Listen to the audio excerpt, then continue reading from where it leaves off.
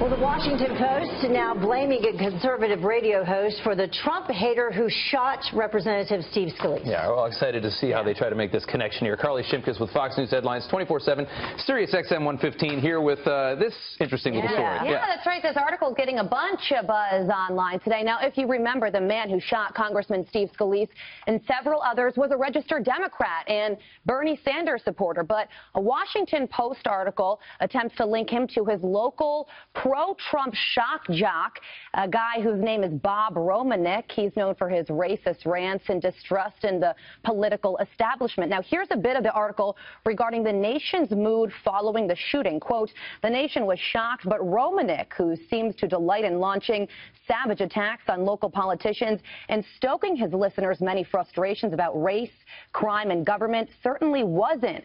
Now, despite being a diehard supporter of President Trump, who has perfected the art of the dire populist message, many of Romanik's biggest fans in southern Illinois, Illinois rather, are disgruntled Democrats like Hodgkinson. Now, there's no indication that the shooter, Hodgkinson, ever even listened to this guy's radio program, leading to a lot of criticism on social media. BuzzFeed's Katherine Miller sent out this tweet saying, what's the point of this? The supporter hated Trump, and there's no indication in the story he listened to this pro-Trump host. Stephen Miller, also a conservative Heat Street writer, said devoted Bernie supporter shoots up baseball field of Republicans. Washington Post blames pro-Trump talk radio in his hometown for it. And another tweet coming in from a guy named Josh who says, I'm honestly not sure I've ever seen one article or tweet that so neatly encapsulates why Americans, by and large, loathe the mainstream media. Mm -hmm. So a lot of criticism here. The Washington Post has, at least not on Twitter, issued a reaction to this pretty strange story. yeah. Well, I mean, and, and, the thing is that last tweet, it does. It, it, shows the bias, and that is why Americans hate the mainstream media right now. it's just so stupid. It's true. Yeah.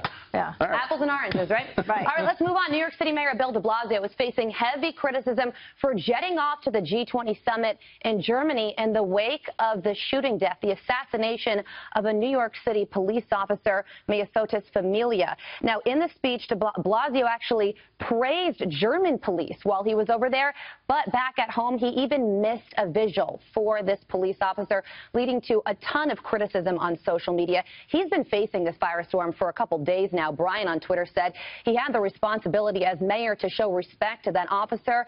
He is a disgrace, and I hope he is voted out of office. Pam on social media chimes in saying he's a piece of work, liberalism, hashtag disgrace. And Nick also says, still confused as to why the mayor of New York City had to visit G20. Hey, maybe it's more fun to go to Germany. His son was over there, but you know, a lot of people says he had a responsibility to be at Absolutely. home in the wake of this and terrible he wonders tragedy. why the officers turned their backs on him right. at times. I yeah. covered local news in yeah. this town for three years, and after names like Bloomberg and Giuliani, it's uh, and not even in a partisan way, yeah. it's just embarrassing right now the situation with our mayor. Yeah. Completely All right, agree. This is the best video of the weekend, I thought. Yeah, shot in the morning, right? So it's the moment that everybody is still talking about. The president, check, check he's going on, he's boarding Marine One, and it appears to be a very windy day. He helps this Marine with his hat. It flies off his head again. He helps him again. It was a, it was, it was nice moment to see, right? So a lot of people on social media are buzzing about this. David says, a simple thing like that means a lot to active military and veterans. I think he's right. Also, this tweet coming in from Tomi Lahren. She says it speaks volumes.